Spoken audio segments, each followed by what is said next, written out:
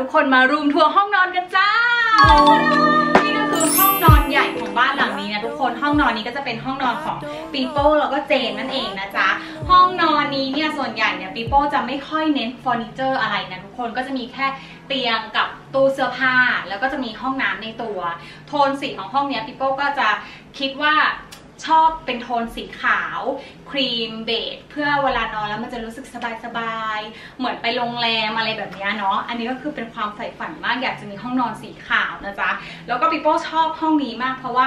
พื้นชั้นสองเนี่ยจะเป็นพื้นไม้ปาเก้ทั้งหมดเลย อันนี้คือชอบมากมากับบ้านอยู่แล้วนะทุกคนปีโป้ไม่ต้องแบบ ปรับเปลี่ยนพื้นไม้ใดๆเลย แล้วก็มาเริ่มกันที่เฟอร์นิเจอร์ชิ้นแรกของห้องนอนก็คือจะต้องเป็นเตียงนั่นเองนะจ๊ะเตียงอันนี้คนถามเยอะมากทุกคนซึ่งเตียงอะปิโป้หาเยอะมากทุกคน ซึ่งปิโป้อะชอบเตียงที่เป็นแบบผ้า เพราะว่าปิโป้ชอบนั่งพิงเตียงอ่านหนังสือเล่นโทรศัพท์อะไรแบบเนี้ยเลยชอบเตียงที่มันเป็นลักษณะแบบผ้า แล้วก็พิงได้แบบสบายๆคือใจก็คิดเหมือนกันนะว่าเออจะเอาเตียงไม้ดีไหมอะไรเงี้ยแต่เตียงไม้ก็รู้สึกว่าเออมันมันดูแข็งไปนิดนึงอะไรเงี้ย ก็เลยอยากได้ความแบบอบอุ่นนุ่มๆ ก็เลยสั่งเตียงอันนี้มา ไปเจอเองมากับตัวนะจ๊ะ ก็คือปีโป้ไปเจอร้านนี้ในอินสตาแกรมชื่อร้านว่าเอวิต้าแล้วปีโป้ก็ไปหาข้อมูลมาว่า เอ๊ร้านเขามีโชว์รูมให้ดูไหม ก็ไปเจอโชว์รูมเขาที่ซอยงามวงวาน 45 นะทุกคนปีโป้ก็ไปโชว์รูมเขามาเลย แล้วก็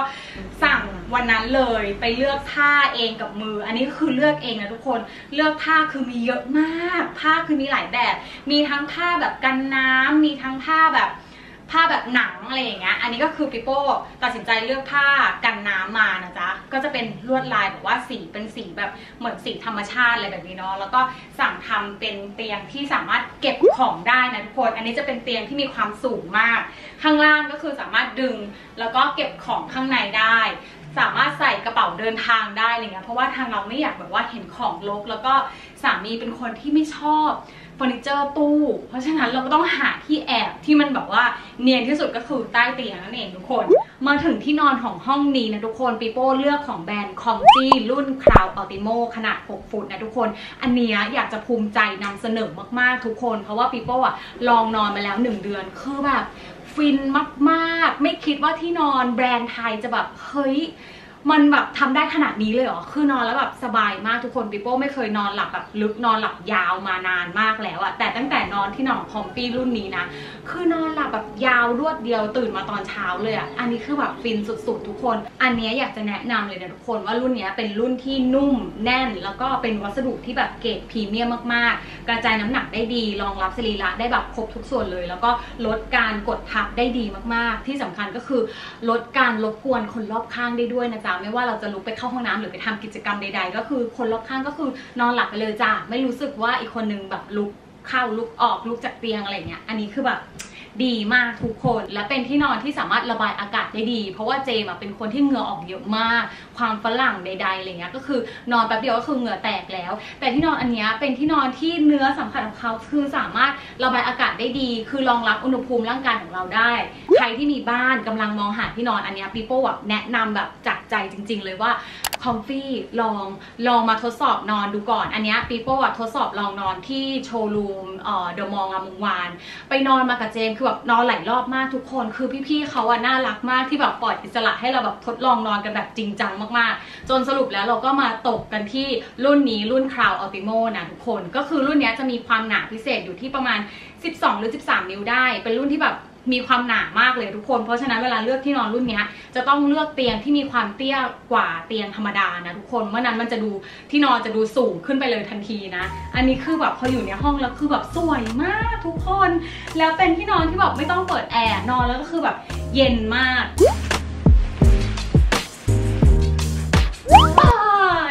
ที่นอนแล้วเราก็ยังสั่งท็อปเปอร์ของคอมฟี่มาด้วยนะทุกคน อันนี้คือเป็นท็อปเปอร์ที่ดูดวิญญาณมากๆ ทุกคน คือนอนแล้วฟินสุดๆ แล้วเป็นท็อปเปอร์ที่มีความหนาพิเศษมากๆ เป็นความหนาประมาณ 4 นิ้วได้ทุกคน แต่ความหนาขนาดนี้นะ นอนแล้วคือไม่ร้อนเลย เพราะว่าเขาทำเนื้อผ้าให้มันแบบระบายอากาศได้ดีอะไรเงี้ย เป็นเนื้อผ้าที่แบบว่าปรับอุณหภูมิร่างกายของเราได้ แล้วก็เป็นท็อปเปอร์ที่เขาทำเป็นตารางตารางๆแบบเนี้ย เพื่อไม่ให้เส้นใยเนี่ยมันเกาะตัวกันเป็นก้อน เพราะว่าปีโป้ใช้ท็อปเปอร์มาเยอะมากทุกคนก่อนที่จะมีบ้านเรานอนคอนโดใช่ไหมแล้วเราไม่มีแบบทุนทรัพย์ที่จะมาซื้อที่นอนแพงๆอะไรเงี้ยเราก็ซื้อท็อปเปอร์ไปก่อนอะไรเงี้ยมันเป็นท็อปเปอร์ที่เราสามารถเปลี่ยนที่นอนที่แข็งๆอะให้เป็นแบบที่นอนแบบนุ่มสบายเหมือนนอนโรงแรมได้เลยอะใครที่แบบว่าเอออยู่คอนโดอะไรเงี้ยแล้วก็ไม่อยากจะลงทุนกับที่นอนเยอะอะไรเงี้ยลองซื้อท็อปเปอร์อันเนี้ยไปนอนได้เลยทุกคนนอนแล้วคือแบบฟินสุดๆคือว่าที่นอนนอนสบายเลยใช่ปะพอมีท็อปเปอร์อันเนี้ยเสริมเข้าไปนะ โอ้โห ไม่ต้องตื่นมาเลยจ้ะและที่สำคัญใครที่เป็นภูมิแพ้นะจ๊ะ ผ้าด้านล่างเนี่ยก็คือสามารถป้องกันไรฝุ่นได้ อันนี้คือแบบดีมากจริง ๆ ทุกคน มาต่อกันที่หมอนนะจ๊ะ หมอนเนี่ยปิโป้ก็ใช้ของแบรนด์คอมฟี่เหมือนกันนะทุกคนปิโป้เลือกมา 2 รุ่นนี้เลยนะทุกคนไม่เหมือนกันนะอะมาเริ่มกันที่ใบนี้ก่อน ใบนี้เนี่ยเป็นของเจนนะทุกคนจะเป็นแบ่งช่องเป็น 4 ช่องด้วยกันก็คือ จะเหมาะสำหรับคนที่ชอบนอนหงายชอบนอนตะแคงอะไรเงี้ยแต่หมอนใบเนี้ยเหมาะสำหรับคนนอนตะแคงมากกว่า เพราะว่ามันรองรับหูของเราได้ไอ้ตรงช่องตรงเนี้ยเวลาเรานอนหงายใช่ไหมอะให้ดูเวลานอนหงายคือนอนอย่างนี้ พอเรานอนตะแคงอะ มันก็จะแบบพอดีกับช่องหูของเราอะ หูเราก็จะไม่พับไม่เจ็บอะไรอย่างเงี้ย แล้วมัน support แบบคอบ่าไหล่ได้ดีมาก เจมนอนหมอนอันนี้คือไม่ปวดคอไม่ปวดหลังเลยทุกคน ก่อนหน้านี้ก็คือบ่นตลอดว่าปวดคอปวดหลังจนมาเจอหมอนของคอมฟี่รุ่นนี้ด้วย อันนี้เจมส์สั่งมาเป็นไซส์ L นะทุกคนก็คือพอดีมากๆ ความฝรั่งอะเนอะไหล่เลยคออะไรอย่างเงี้ย ก็คือ perfect อันนี้ใครที่แบบว่าชอบนอนตะแคงปีโป้อะแนะนำเลย อันเนี้ยเพื่อสุขภาพจริงๆนะทุกคน บอกเลยว่ามันหายปวดหลังหายปวดไหล่จริง ๆส่วนหมอนของปีโป้เนี่ยก็จะเป็นหมอนที่เหมาะสำหรับนอนหงายนะก็จะแบ่งเป็น 2 ช่องแบบนี้ เวลานอนก็คือจะ support ตรงต้นคอได้ดีมากๆทุกคน อันนี้ปีโป้เลือกมาเป็นไซส์ M เพราะว่าปีโป้ชอบนอนที่แบบหมอนค่อนข้างมีความสูงขึ้นมานิดนึงอะไรอย่างเงี้ยนะ อันนี้นอนสบายมากทุกคน หมอน 2 รุ่นนี้ก็คือเป็นเนื้อผ้าที่ระบายอากาศนะทุกคนก็คือเป็นเนื้อผ้าแบบเย็นไม่ร้อนนั่นเองนะทุกคน ยังไม่จบเรื่องหมอน เพราะว่าเรายังมีหมอนของแดเนียลจ้าทุกคน มีหมอนของแดเนียลของแบรนด์คอมฟี่ด้วยอันนี้ก็คือเป็นหมอนสำหรับเด็กที่อายุประมาณ 2 ขวบขึ้นไปนะทุกคนอันนี้อย่าว่าแต่แดเนียลชอบเลยคือปิโป้ยังชอบเองเลยอะทุกคนเพราะว่าเป็นหมอนที่นอนแล้วแบบ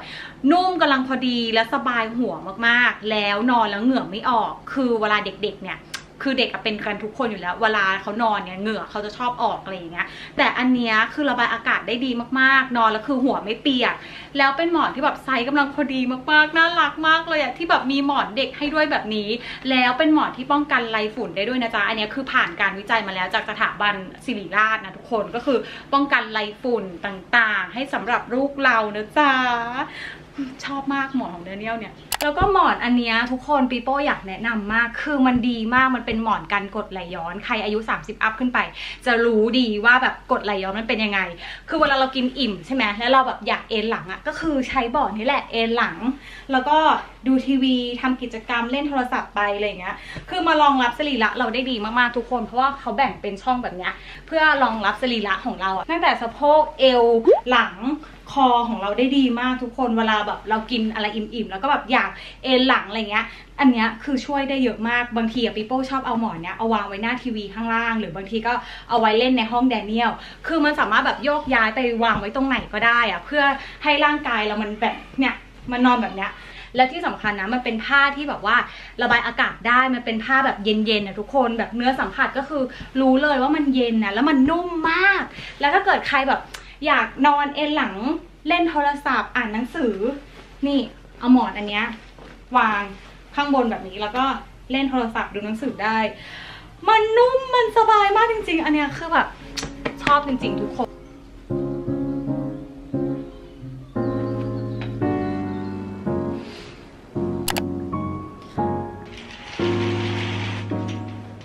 สำหรับห้องนี้นะทุกคนปีโป้จะเลือกเป็นมูลี่กับม่านนะทุกคนก็คือจะเป็นสีที่เป็นสีขาวครีมเบจนะ ตรงเนี้ยปีโป้จะเลือกเป็นใช้มูลี่ อันนี้ปีโป้เลือกเป็นมูลี่สี สีออกเป็นสีขาวงาช้างอะไรเงี้ยแล้วก็เลือกเนื้อผ้าที่เป็นผ้าออกสีครีมครีมให้มันดูเข้ากัน แล้วก็ตรงนี้จะเป็นหน้าต่างใหญ่ หน้าต่างใหญ่เนี่ยปีโป้จะใช้เป็นผ้าม่านนะทุกคนก็จะใช้ผ้าม่านที่มันกันแสงได้เนี่ยกันแสง UV ได้แบบเนี้ยก็คือเวลาปิดแล้วก็คือทึบเลย เนื้อผ้ามันอาจจะดูเหมือนแบบเฮ้ยมันจะ แสงมันจะสว่างเข้ามาหรือเปล่า แต่อันนี้ก็คือมันกันกันแดดได้ ด้านนี้ก็คือจะเป็นด้านทึบนั่นเองนะทุกคน สีปีโป้ก็จะเลือกสีเป็นสีแบบ ให้มันออกเป็นสีแบบธรรมชาติธรรมชาติ ไม่มีความเงาเลยอะไรอย่างเงี้ย ก็จะเป็นเนื้อผ้าแบบนี้นะจ๊ะราวม่านปีโป้ก็จะใช้ราวม่านที่แบบติดกับฝ้าเลยนะทุกคนเพื่อให้ห้องมันดูแบบยาวขึ้น แล้วก็ไม่ให้แสงอะมันลอดผ่านเข้ามาอะไรอย่างเงี้ย แล้วก็ปีโป้จะเลือกลอนม่านน่าจะเป็นรูปตัว S มั้งปีโป้ไม่แน่ใจนะ เดี๋ยวปีโป้จะให้ดูเวลาปิดแล้วก็คือมันยังคงมีความ curve ของผ้าอยู่นะ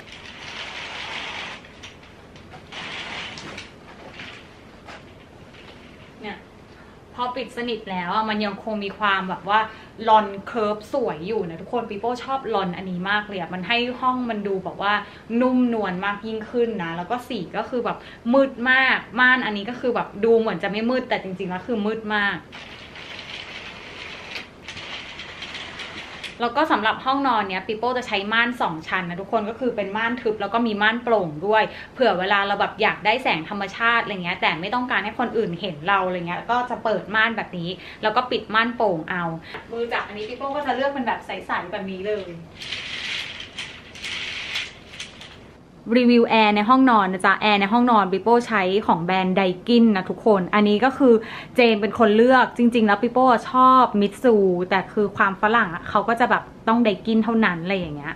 แล้วก็อันนี้จะเป็นกระจกที่ซื้อมานานมากแล้วนะจ๊ะ ก็จะเอามาไว้ในห้องนอนแบบนี้ เอาไว้แบบส่องดูตัวเอง ให้ห้องมันดูมีอะไรมากยิ่งขึ้นนั่นเองนะทุกคน อันนี้เดี๋ยวปิโป้จะใส่ชื่อร้านไว้ให้ รู้สึกว่าปิโป้จะสั่งในอินสตาแกรมนะ ราคาประมาณ 2,000 มั้งไม่แน่ใจ อืม สวยมากมา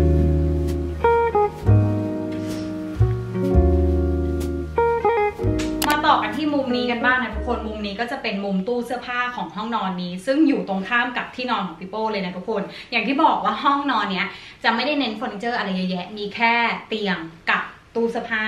ต้องบอกว่าตู้เสื้อผ้าอันนี้เราวิวอินมานะจ๊ะ อันนี้ภูมิใจนำเสนออีกแล้ว เพราะว่าเป็นแบรนด์ของเพื่อนปิโป้นั่นเองทุกคน อันนี้ปิโป้ไปเจอมาที่งานบ้านและสวนแฟร์ แบรนด์ชื่อแบรนด์ฮูฟนะ เพื่อนๆ ลองไปส่องได้ใน Facebook Fanpage หรือใน Instagram เดี๋ยวปิโป้จะใส่ไว้ให้นะทุกคน อันนี้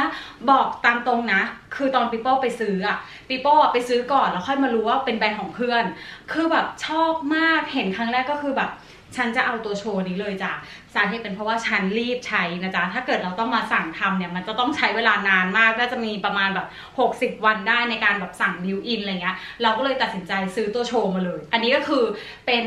ตู้เสื้อผ้าตัวโชว์ที่อยู่ในงานบ้านและสวนมาอยู่ที่บ้านเลยละจ้ะอันนี้เลยทุกคนคือน่ารักมาก ต้องบอกว่าแบรนด์ฮูปอะดีไซน์คือน่ารักมากทุกคน custom ดี คุณภาพแข็งแรงทนทานมากๆ แล้วเราสามารถเลือกวัสดุได้ทั้งหมดเลยของตู้เสื้อผ้าไม่ว่าจะเป็นไม้สี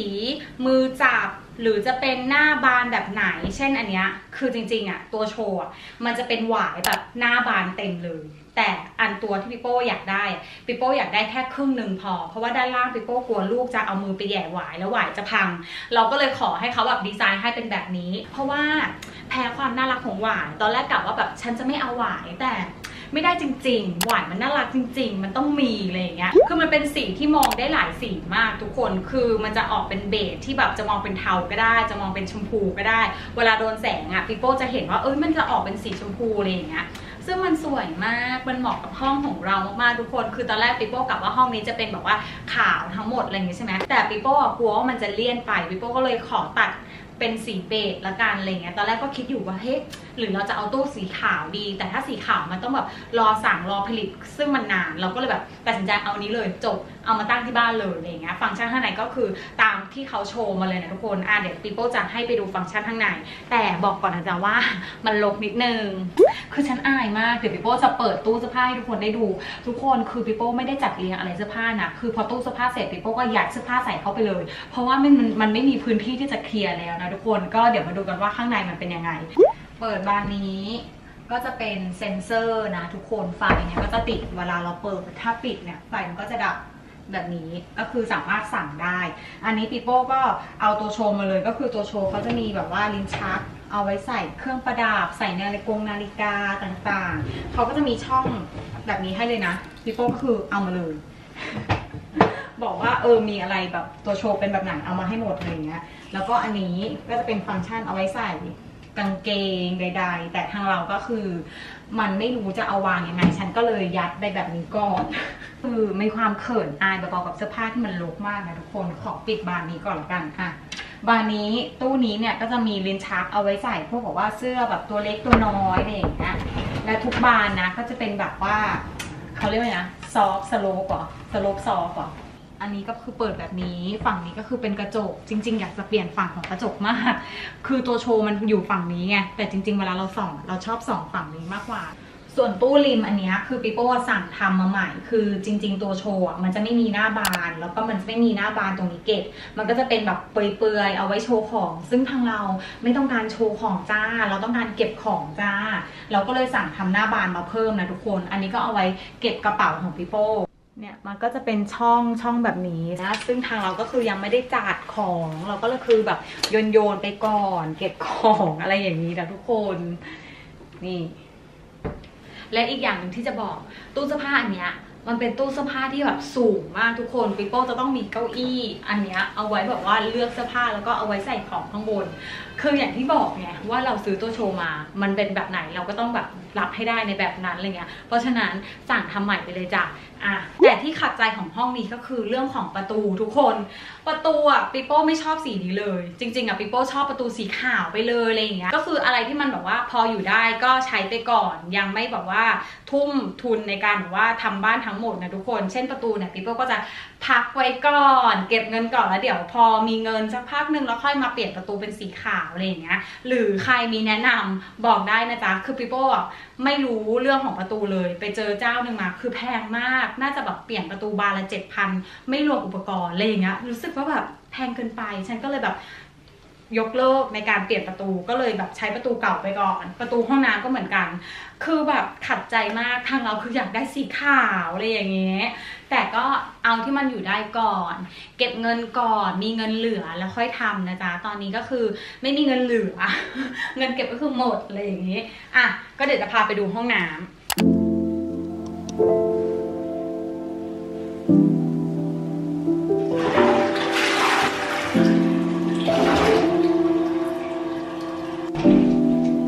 พร้อมไหมจ๊ะจะพาเข้ามาดูห้องน้ำของเรานะทุกคนดาและนี่ก็คือห้